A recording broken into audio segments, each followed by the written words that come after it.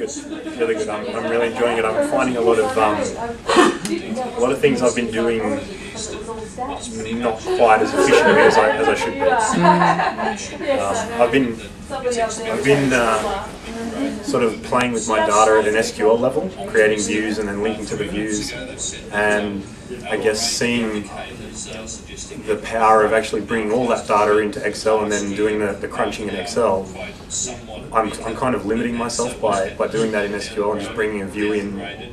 If I ever want to change something, I've got to go and recreate a new view or something like that. So that's probably the biggest thing I've, I've taken away is that Excel can do the work that I'm doing in another application. I can sort of cut that out of my workflow now. So that'll, that'll dramatically speed things up for me. Yeah, I think it's a lot of people know Excel more than they know the SQL stuff as well, so it's more transferable for other Yeah, that's people. right. Yeah, at the moment, if I give someone a dashboard and they want to change something, they, They can't. can't. Mm. Yeah, I'm pretty pleased with that. Good. what I really like about this is big companies always tend to go for the flashier solutions, which at some point in time get derailed because it's too expensive or we don't have enough data. And I think this is a really good way to show you can make really nice flashy dashboards that look very sexy, that look that fit the business requirements without having to immediately spend millions of dollars getting and I won't mention brands, but getting um, snazzy dashboard solutions in. So you can start with Excel, which tends to be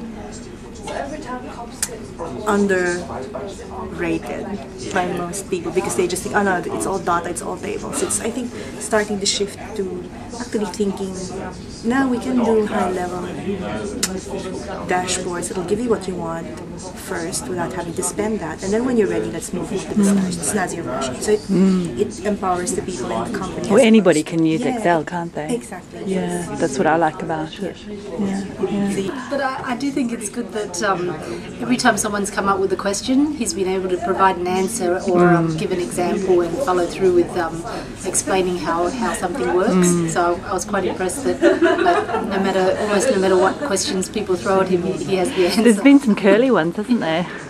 I think it's good. I think one of the most valuable things is probably reinforcing that point by stepping back and designing the dashboard outside of Excel. So you know, you get the data and just jumps straight in and you're trying to It's tempting, isn't it, to charts jump? all over the place and without building the structure first it's just Yeah. it's not worth doing really. So I think that's been a really good learning point. point and just thinking about that a bit more. Um, I I think it's good. It's, it's the course itself is at a level where you know you, you start thinking about applications for it straight away. So I'm finding that everything that Chandoo is teaching us that I'm um, I'm going, oh, I know where I can fit that in. I know where I can fit that in. Know, by the looks of it, this is been, I'm going to have to redevelop the whole dashboard that I've got at the moment. But, you know, I can see that there's there's opportunities there to make it a lot more user efficient. And, so there's a lot of stuff there that we can, that I can change in our dashboards to um, to make them more effective and, and deliver a message a lot better than what we've got at the moment. So at the moment we've just got a sheet that goes out with 10, 12 graphs on it, a couple of tables, and you're scrolling down. And, um, whereas I think you know, we, can, we can deliver that a lot smarter now. It's great.